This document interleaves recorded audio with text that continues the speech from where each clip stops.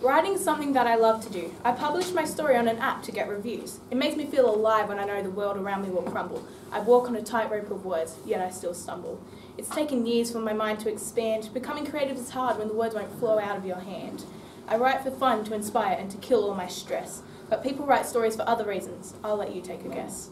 There are stories in the media that are there only to start trouble. Random words thrown together. I call it word rubble. It's rubbish and it's useless, but everyone still believes. They steal their victims' dignity like hardcore thieves. They are riding the wreck and it's destroying our economy. The victims are waiting to roar. Deep inside their hearts, they want to express their autonomy. They write their disgusting stories, maybe to get a pay rise, or most likely for that delicious slice of pie. But that delicious slice of pie is thousands of dollars. While they take all that money, there are echoes of screams and hollers. Here's a story. Once there was an innocent young lady. She made some mistakes even though she was brainy. There were lies made up about her in the media. It was like an essay, the whole encyclopedia. She became sad, she became mad as she looked at her iPad, but then she felt a rush of glad. She knew that she could prove the world wrong. She said, I am still strong. She began to sing her beautiful song, Stop riding the wreck, we all belong.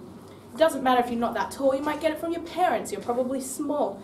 Doesn't matter if you're not her size. Who, why can't we just look each other in the eyes? Doesn't matter if you're not as fit as him and stop looking at him with your eyes full of prim. I'm losing faith in humanity, so just listen to me. Save my sanity. She rose up against them and stopped the negative writing. Instead of fighting, she used her words like lightning. So come and help, become a hero. Nobody wants to be an absolute zero. I decided to write this when I was laying on my deck. I said, I'm going to stop people from riding the wreck.